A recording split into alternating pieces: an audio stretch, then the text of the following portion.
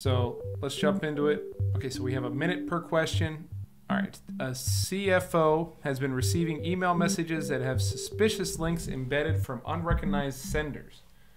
I got to go through this a little fast. Uh, the email asks the recipient for identity verification. The IT department has not received reports of this happening to anyone else. Which of the following is most likely explanation for this behavior? So I'd like to read the question, rephrase the question, think about my responses and then read the answers. So, a CFO has been receiving email messages with suspicious, suspicious links, so that's probably a type of phishing attack. If it's targeting a CFO, it's probably a whaling attack. Uh, email asks recipient for identity verification. Let's see. Whaling attack, okay, that's probably it.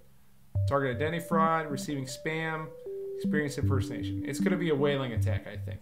So we have to go through these very quickly, apparently. Uh, so let's let's get on with it here. All right. Okay, good. Okay, we get the answers right away. So let's keep going.